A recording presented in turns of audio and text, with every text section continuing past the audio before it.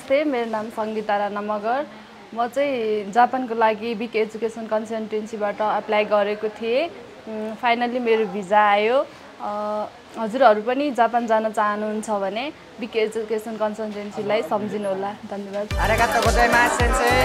thank you so much बिक